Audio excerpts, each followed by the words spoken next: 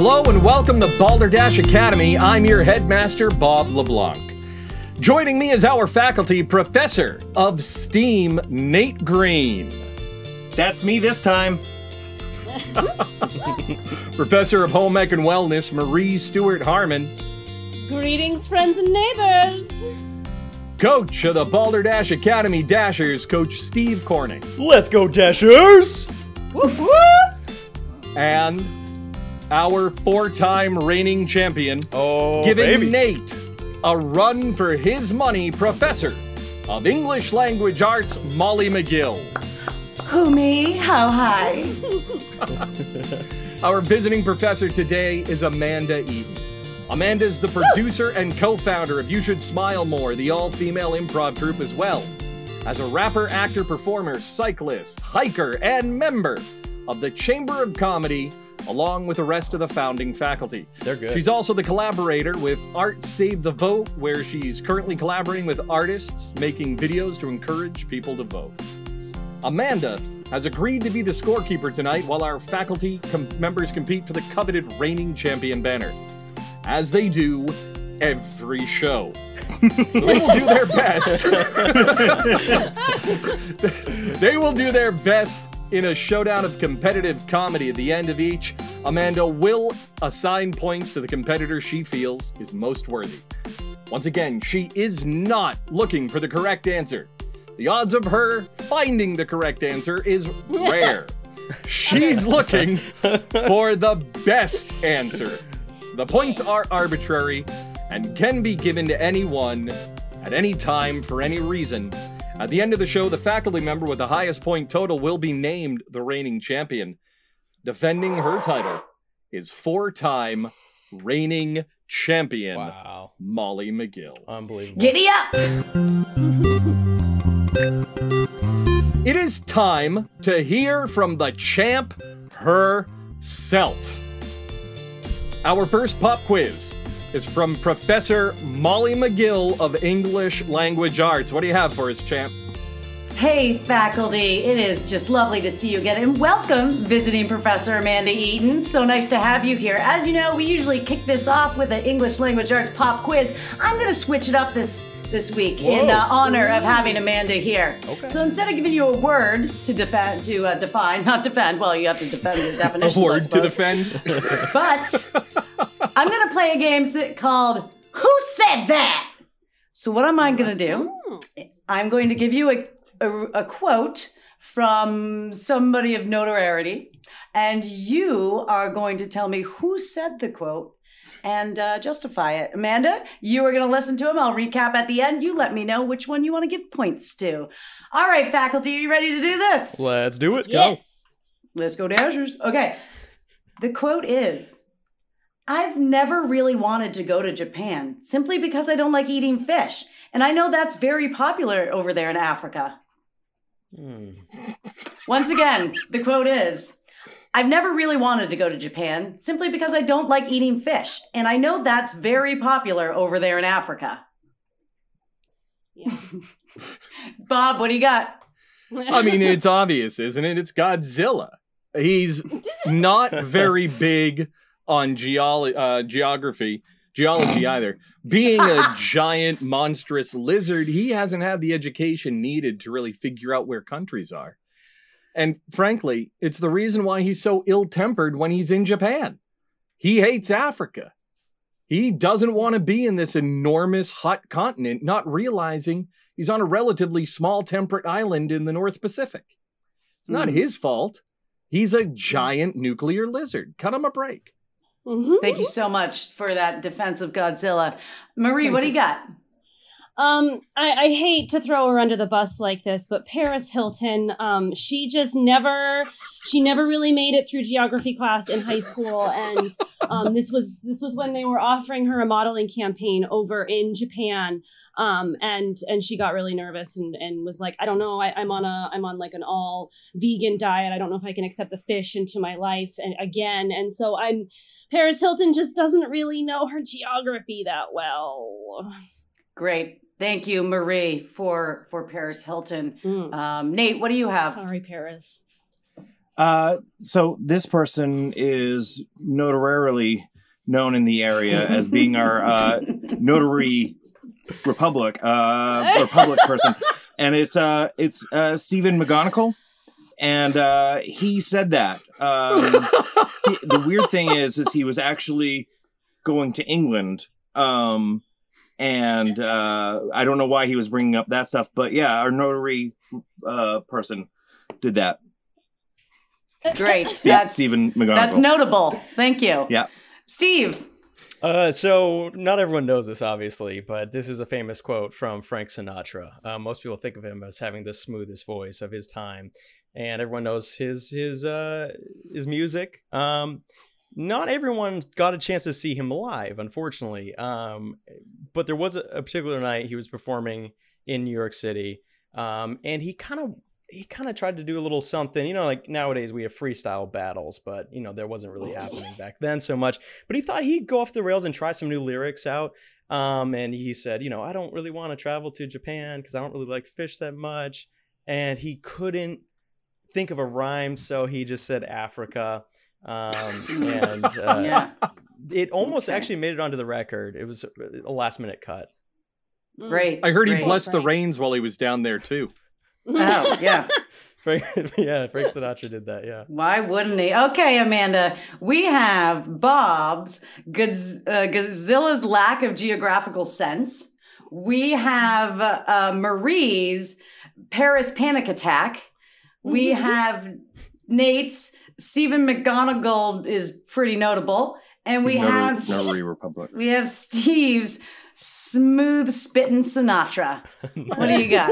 Well, this is a challenge, but first off, uh, Molly, I'm going to give you two sweet potato maki rolls uh, just for Ooh. coming up Oh! with this question. Yes, thank you. I, I'm going to have to give Bob two points for the geography, geology, because those are both very important subjects that probably kids aren't learning right now in school since there's no school. Um, but I'm going to have to get up Marie the win for uh, four boxes of hair dye uh, because I think she was right with Paris Hilton. Yes, very, Maybe- very close. Congratulations to Marie. Uh, just to let Thank you guys you. know, you're Yeah. all so like right on the money. Yes. You're so close. Really? It's kind of a no-brainer if you really think about it. It's Britney, bitches. It's Oh! Britney Spears. Does make sense. yeah. Another another gem Almost from the pop princess herself. And I thought it was Oh, Jessica man. Simpson with this tuna. Very close. All right. That's like the worst game of Clue ever. I thought it was So- Jessica Simpson with a tuna. but it's chicken of the sea. Chicken of the Sea. Speaking of those difficult, hard hitting questions, it's now time for minute or less. So before we move on to our next game, I will spin an opening icebreaker question for Amanda from the Balderdash randomizer. The spin will generate a random question that Amanda will try to answer in one minute or less. These questions are hard hitting. They can be anything from work and play to general trivia. The icebreaker question is This is one of the rough ones. What mm-hmm. is your favorite sandwich and why? Oh, snap! this. Let's go. Okay, well, my favorite sandwich is vegetarian because I don't eat meat. So um, I'm a real fan of the Italian with none of the meat. So it's not really an Mhm. Italian. It's like a cheese sandwich with lettuce and pickles and onions and a little bit of oil and salt and pepper. Um, but I really just love veggie sandwiches with some hearty bread, maybe some seeds in there. They get them in your teeth. You got to pick them out. That's when you know it's a good sandwich. Mhm. Follow up Have you tried a fennel and chili flake TVP Italian? No, but that sounds what? delicious. It is What's a TVP? amazing. And a textured, Textured vegetable, protein. Whoa. Oh, Imagine going to Taco hey. Bell and getting the perfect filler in a taco.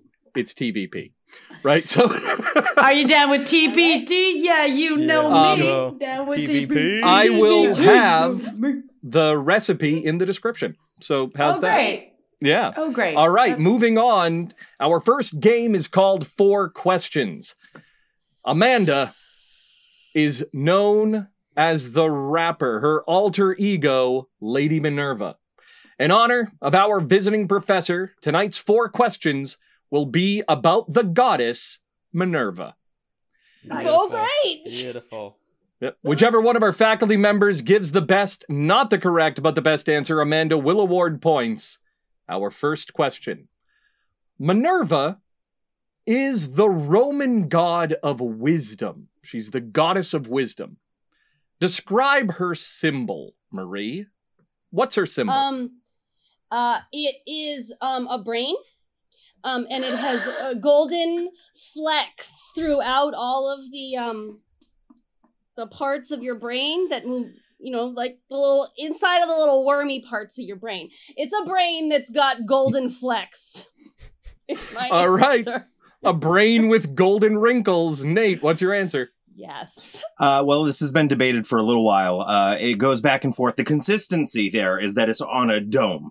So, hence, wisdom is dome. Uh, and then, Mm. yeah, and then it is either, this is the part that people can't really agree on. It's either uh, urine, because people are taking a whiz on it, or it's actually uh, cheese whiz.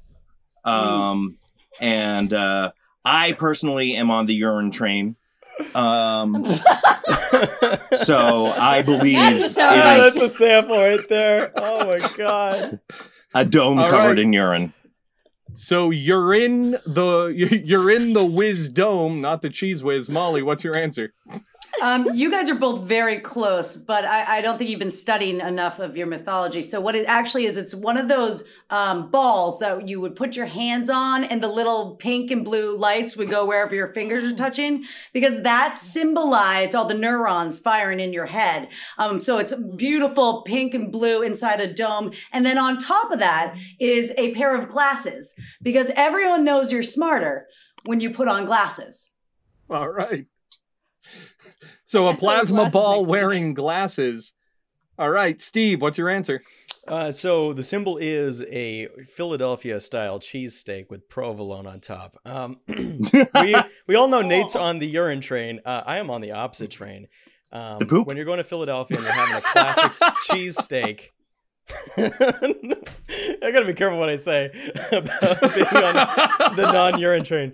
Um, there's two ways to have it. Obviously, there's provolone and there's cheese whiz, right? Um, now Minerva was the goddess of provolone cheese, wisdom, right?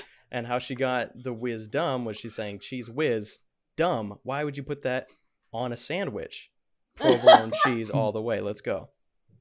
All right. wow. So the goddess of wisdom, provolone cheese.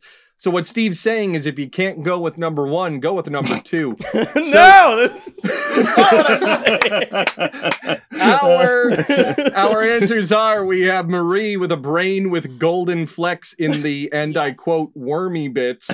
We have Nate Inside the wormy bits. Nate, it's a wisdom, and he's on the urine train. Molly plays with balls of plasma with glasses, and Steve is uh, all about the cheese steak goddess. Mhm. The answer, you're all very close.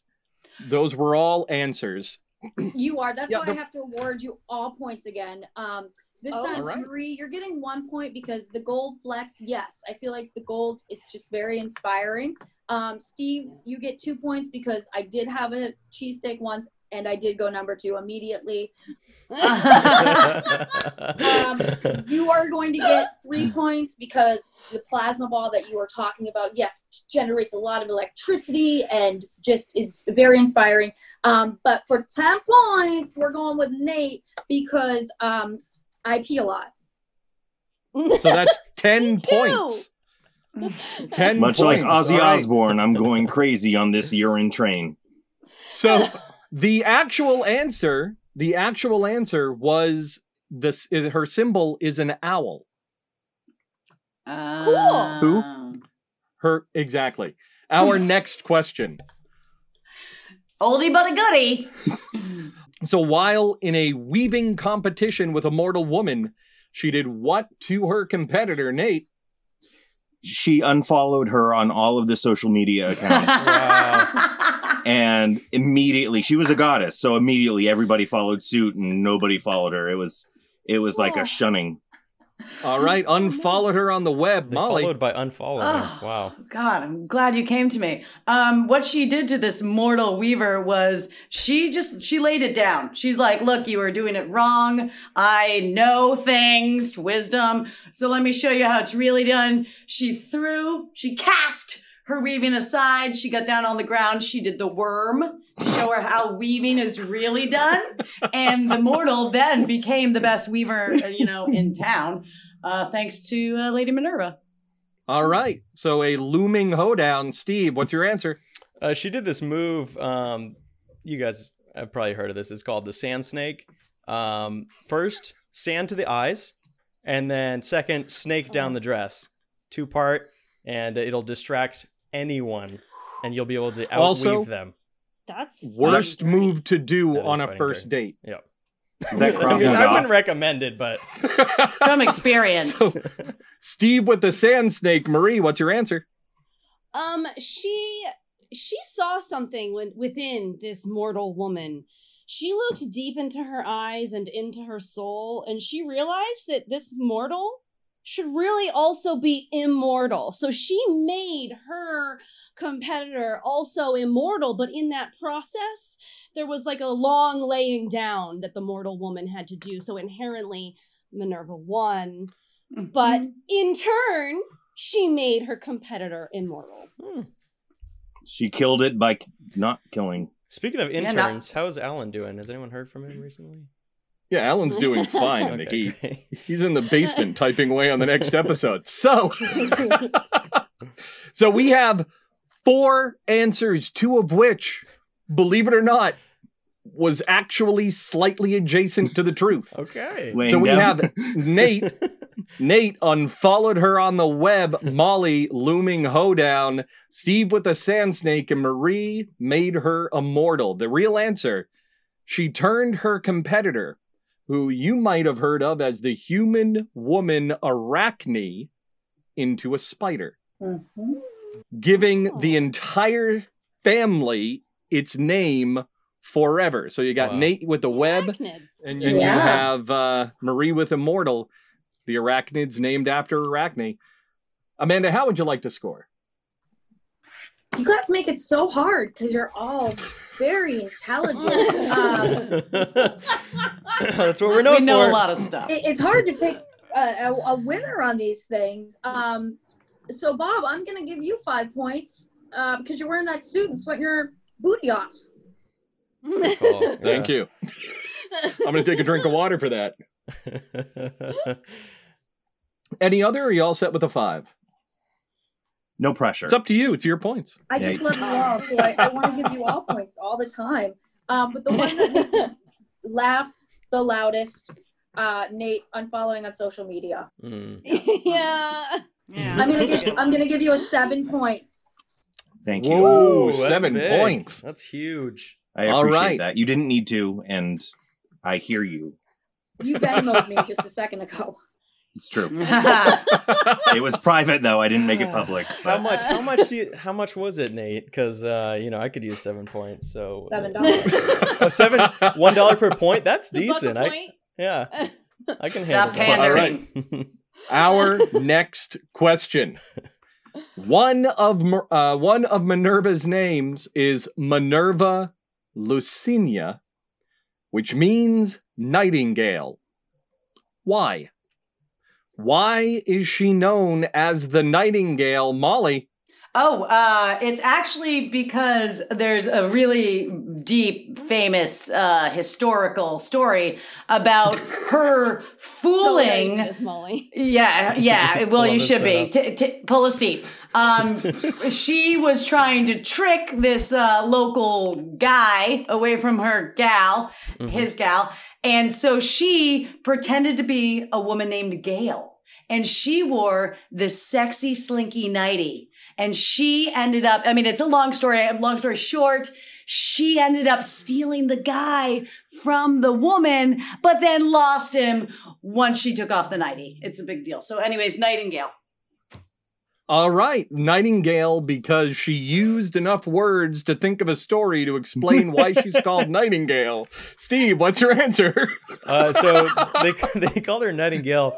Uh, Nightingale is a is a bird, of course, uh, that comes out at night and it has the word night in the name. They they called her this because she was really really good at sleeping. Um, she was just one of those people that had a natural uh, brain chemistry that was ready to sleep at a certain time. She would lay down, be asleep, sleep uh, restfully throughout the entire night, about seven to eight hours. And she would wake up ready to start the day. Never had a problem. Never needed to pop a melatonin, anything like that. She was just the perfect sleeper. That's why they called her the Nightingale. The perfect sleeper. Marie, Hmm. what's your answer? Um, so in the time, the women were not as um open with their own sexuality, and it was very frowned upon if a woman was to sleep around, say. Um, and when a woman is loose. Um, they they they might name her Lucine Lucinia, um, but but however, um, the the uh, the locals could not pronounce that. Perhaps the same way I could not, and uh, instead they could say Nightingale because she was just strutting around at night, Hmm. um, and uh, and so it was a slightly more appropriate term of the time, while still calling her a loose woman. Poor, poor, poor Minerva. She did not deserve that. You're you're yeah, I definitely I completely understand.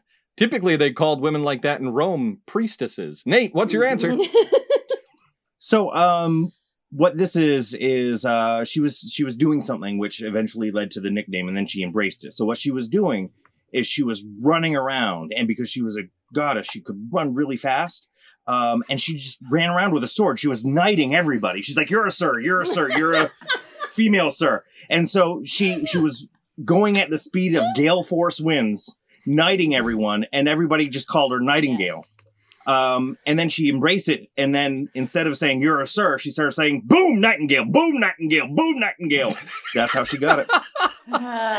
All right, so a serial nighter. So we have four answers. They are Molly stole a nighty from Gail, Steve slept a lot, Marie, she was strutting around at night, and Nate was a serial nighter. All very good answers. The real answer is that in Roman mythology, Minerva invented the flute. Ooh. The myth is she didn't like the way her cheeks puffed up when she played it. She threw it by a river, and the satyr found it. So- Hmm. oh, Amanda, how would you like to Huh. score? Oof.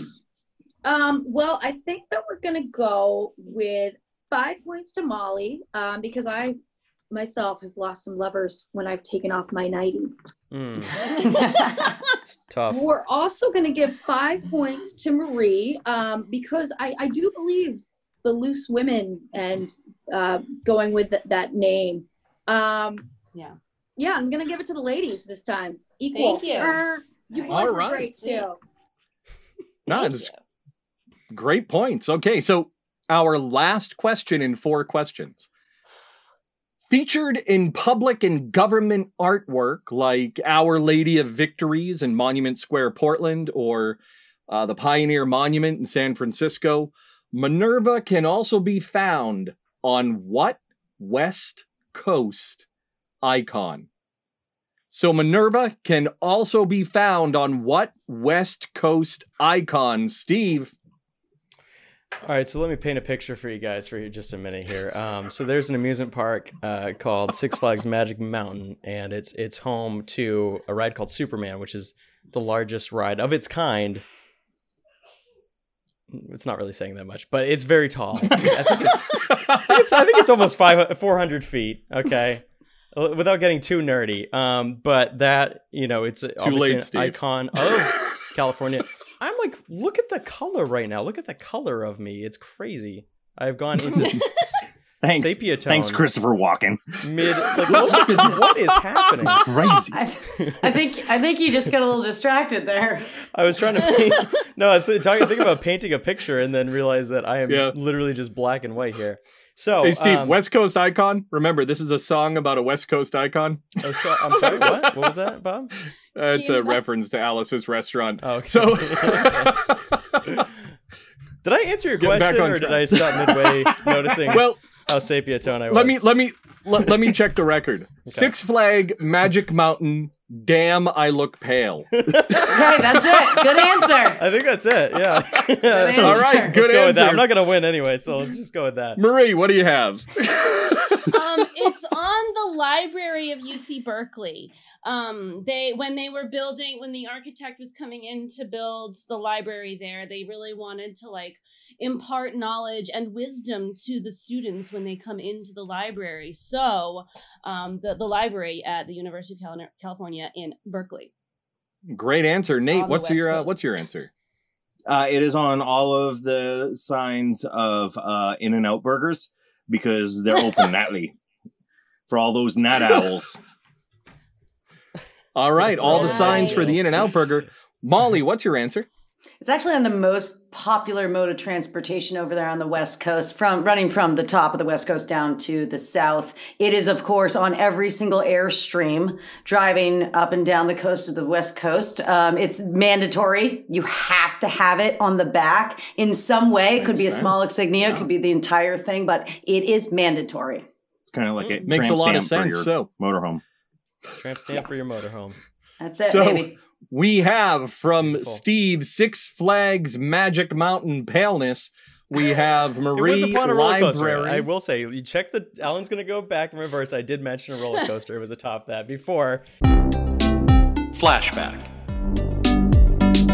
So there's an amusement park uh, called Six Flags Magic Mountain, and it's it's home to a ride called Superman, which is the largest ride of its kind. It's not really saying that much. This has been a Balderdash Academy flashback. You did, you did, and you mentioned, I believe, Superman, which is the Yes. tallest roller coaster of its Oh kind. Which is You totally insane. I blacked out. Look at myself.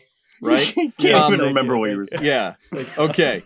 Um, next, we have Marie with the Library of UC Berkeley, which is likely correct. Minerva is featured on almost every library because the goddess of wisdom. You have Nate on all of the signs for in and out, and Molly. Mm. It's a law. It needs to be on every airstream. Good, good answers. The real answer was Minerva is featured on the state seal of California. And the reason is Oh. because, much like the state of California, she emerged fully formed.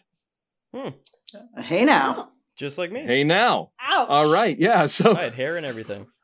um, that does not surprise me. And you haven't Oh, grown much since. Amanda, how would you like to score? Um, well, we're gonna give Steve one point because Beautiful. you turned all pale when you were mentioning roller coasters, and that's what happens to me when I go on roller coasters. So one point for you. Um, we're gonna give Molly two points because I think that's creative, and you know, just I, I like it. That, that that they should have require that on your airstream. Right? We're gonna give Nate uh, three points because In and Out Burger, and I'm sure it's going in and out of your system real quick. Um, and does, I like yeah. that a lot. Much like an and Airstream. we're gonna um, Marie five points because I think that is pretty truthful. All right. I will So find out. our points are in last place. We have Steve with three points. Next, we have Molly with nine. You have myself with 10, Beautiful. Wow. I'm, I'm slaying it over here. Marie with 15, and in the lead is Nate with 20. Wow. shocker. Wow. Shocker. Freaking shocker. Okay. Oh, shocker, says the person with four wins under their belt. Mhm. Hmm. Fan Says the guy with five wins under his belt. under his belt. Exactamundo. Well, I didn't Am I say too pale? Join us. the problem? Join us for a talk with producer, rapper, actor, performer, improviser, hiker, cyclist, many other things, Amanda Eaton, when we return to Balderdash Academy. Go Dashers! Steve, this is why we're losing on the sports teams because you're too concerned about your paleness. I Guys, literally, I look like I'm in sepia tone right now. What is going on? For complete episodes and more, visit us at balderdashacademy.com. Oh, doggies. This interview with Amanda Eaton has it all. It has Chicago, Julia Cameron's The Artist's Way, nature, a guy named Art, people smiling more, and wait for it, chapstick. Don't miss the next part of episode 13, only on Balderdash Academy. Thank you for watching. Remember to like, subscribe, and hit that bell icon. You can find us on your favorite podcast service as Balderdash Academy.